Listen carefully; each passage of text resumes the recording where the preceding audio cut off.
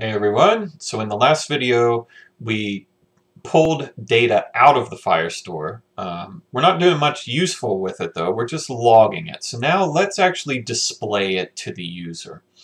Now in the earlier labs and things we did this with a recycler view. Admittedly a recycler view is really challenging to use. Uh, the neat thing about it is that it can listen to the Firestore for changes uh, the downside is pretty complex. Okay, it's also more efficient uh, under the hood. But let's say you don't need any of that. You want your data, your display of all the data in the Firestore to be event driven, like when the user clicks on a button, or say you just want to show it to ev show everybody everything whenever they load the activity, right? That's fine, or start the activity, or uh, create the activity. We can do that too. And we don't need a recycler view. We can use a list view. So let's do that. Let's have a list view. Um, let's go make one. So the first thing is I'm going to go into my Firestore activity Firestore list layout and I'm going to add the list view to it. Okay, so I make this big again and don't need the logcat at the moment so I'll get rid of that. All right, so here I am. I'm in uh, our activity layout. Now let's go to the bottom here and we'll add a list view down here below the refresh button. Okay, so list view, if you remember it just, as you said, as you may guess, it displays things in a list um, with a scroll bar on the right hand side so you can kind of go up and down a big pile of things. Okay, so let me give it an ID first of all and I'll call it patient list view. Okay, and I forgot to put the at plus uh, ID. Okay, so we'll call it the patient list view. Uh, the width, let's make it as wide as the th uh, screen. And the height, um, I'm going to tell it to fill the remaining space over here. Okay, so the way that you do that in a constraint layout is you set the height to zero. Okay, I'm going to set my height to zero, but then I'm going to set the vertical constraints in a way that makes sense, that'll make it stretch. So uh, let's attach the top of this thing, the top of this, to the bottom of the refresh button. Okay, I want it down here, down in this area. Okay. And then to get it to stretch, we constrain the bottom of the list view to the bottom of the parent. Okay, and that'll tell it to fill all the remaining space. Okay. Um, I also have to give it, even though uh, we're like filling the space, we also have to give it a um, one horizontal constraint. So I'll just make the start uh, to the start of the parent. Okay, that'll that'll make it happy. Um, there we go. Let's give it just a little margin on top, say 12, right? Um, okay, I'll pause here for just a quick second if you want to pause the video and catch up on this list view stuff. So I used a lot of autocomplete, went pretty fast. Okay, so I've got the view in place that I need. Let's go back to the activity and put the data in the view.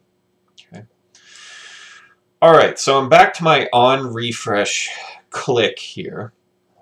And what I need to do is tell it to put the data in the list view. Okay, so um, the way I'm going to handle this is if you remember, list views take an adapter. And it's the adapter that tells them, I list views are like what chapter three or four? It was a long time ago. List views take an adapter that tells them both what the data is in that they should show in their scrollable list but also how to render it what the layout should be okay? So we're going to start working on that way back up here in on create okay? So first of all let's get the list view and I called it uh, Got to import that. Let's call it patient list view. And then how do we get the widget out of our layout file? We call find view by ID r dot id dot. Uh, I think I called it patient list view. There it is. Okay, everything looks good there.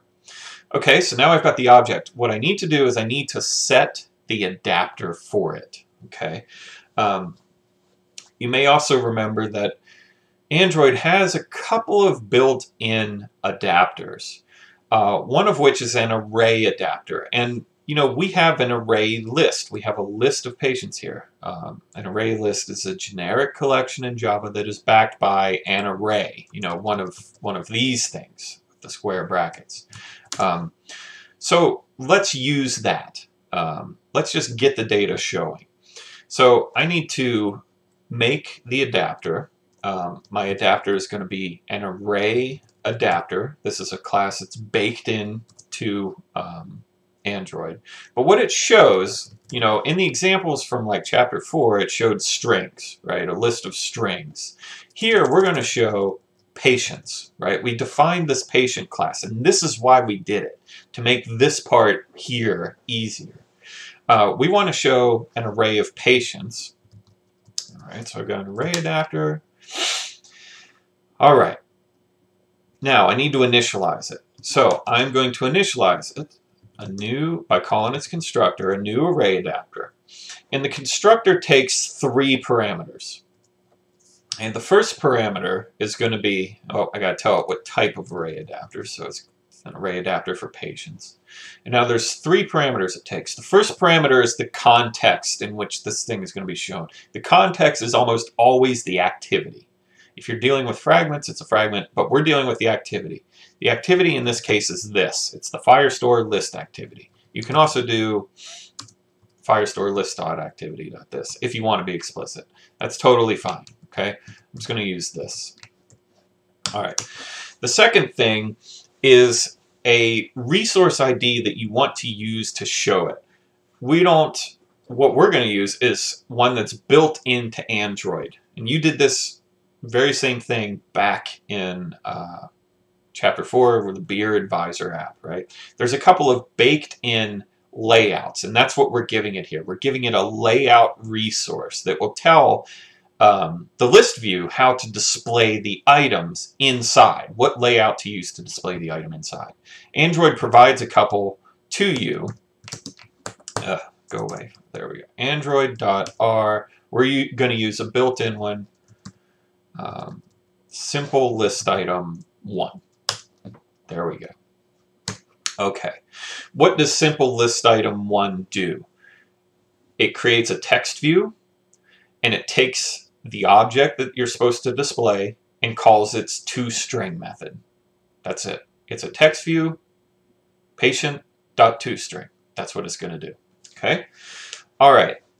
The final thing is the data, the list of patients. You can see here, it's look, it's asking me either for a list of patients or an array of patients. Well, I'm in onCreate. OnCreate is called when you first, the activity first appears on the screen. I don't have any data yet. I have not clicked the refresh button, right? I haven't pulled that data down. You could, you could pull the data down right here and initialize it. That's fine. I'm not going to do that here, okay? You could, though. All right, I'm just going to initialize it with an empty list, okay? and we are done. Okay, so that's my adapter. Um, I've created the adapter. Now, patient list, I to attach the adapter. Now I need to attach the adapter to the list, and that call is set adapter with the object you just made. Okay. Now, if we you know, run this, we're actually probably not going to see anything different because I haven't put any data into the adapter yet. Okay. Yeah, so there, there's nothing down here. Um, but let's, it's only when I call refresh that I actually get this data down. So how are we going to add the data in to the adapter? Well, the first thing we need to do is we need to make this adapter a class variable so that we can access it down here in this on refresh click method. So I'm going to make the adapter a class variable. So let me copy the, the variable declaration. I'm going to put it up here where the class fields go. And assign it in my onCreate. Okay. So again, what did I do here? Um, I declared my array adapter up in the, the class variable location and assigned it here. That's all. Um, now, down here in my on success listener, if you remember from the last video, we are getting the data out. Now what we need to do is put the data into the adapter and tell the adapter, hey, your data, I've got data for you now, update what's on the screen. Okay? Uh, the way we do that is pretty easy. Um, I get my adapter, and there's a method baked onto it called add all.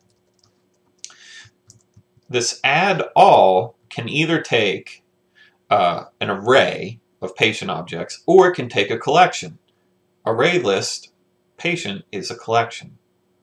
So we're going to call add all patients, this thing, and that'll do it. Okay, let's run it. See what happens. Okay. Go into our Firestore list view. All right, so again, nothing showing up here yet because we're not going to pull the data until we click the refresh button. So let's do it. Ha, I've got information here. Um, kind of weird looking information. edu.uncu uh, patient at blah, blah, blah, blah, blah. All right, so part of the way. But what's happened? This is clearly not what I want. This is showing me, again, um, when I set up my adapter here in the onCreate, one of the parameters I gave it was the layout that says how to represent the content of the adapter.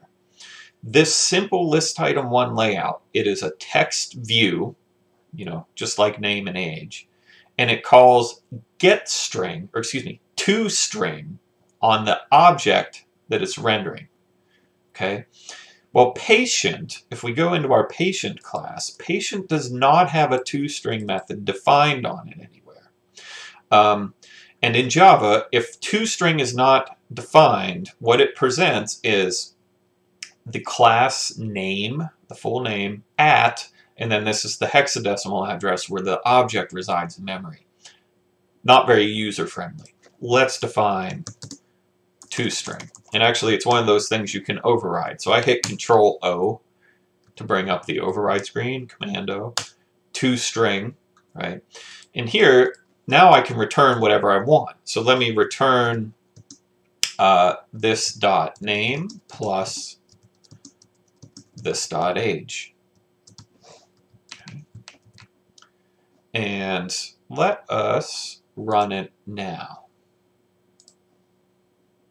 Again, all I'm doing is I'm adding the toString method to the patient model object. Go back in my Firestore list view, click the refresh button, there we go. Okay. So now I'm, I've got it in a list view. Let me add something now. Let's add some new data. Let's add uh, Peter, and he's 99 years old. Maybe I should type 99 uh, and submit it. Okay. Now, you can see here the list view did not update. Let me add him again, change his name. The list view did not update. He was successfully added. That's because, unlike the recycler view, this list view is not listening to changes for the Firestore. But if I click refresh, there it is. And actually now I have enough data that you can see the scroll bar here. There's also something else interesting that's happened. Do you see what it is? I've got duplicate data. Right. Uh, let me refresh again. See the bar jump? All the data is here again. Huh, what's going on? Well, I've got a little glitch in my logic here. Um, this call to adapter add all it takes the data that's in the adapter and literally appends everything onto the end of that list, right? So it didn't clear out the list. That's probably what we want to have happen, right? We want to clear out the list and replace it with the new data, not just keep adding on data. So I need one more call in here, which is adapter.clear. And that will, yes, clear out the data, then re-add. Um, so let's run this again. Okay, so here we are. If I click refresh, there's everybody who's in it. And if I click refresh again, yeah, um, I'm not getting extra. Let me add somebody. Let's add Jane. Submit. So she was added. Let me refresh. Here, she pops up down here. Uh, and I can scroll, but you can see I'm not getting duplicates of what everything that was in there before. Okay, so um, as far as the display, though, the display of this information, I'm limited. I can only show here, using this simple list item, the result of toString. So I can't format this very well. So in the next video, we'll talk about, again, uh, something that harkens way back to the first couple weeks of the semester, how to style these to make them look a little bit better.